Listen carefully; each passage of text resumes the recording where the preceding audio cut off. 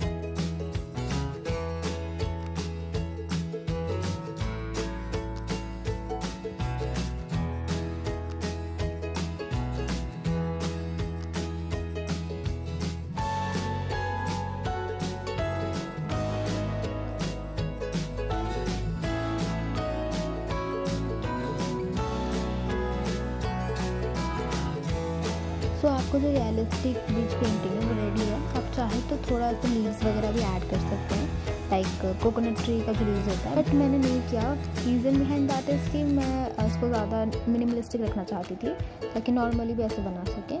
सो या I hope आपको tutorial अच्छा लगा हो एंड विद दैट बाय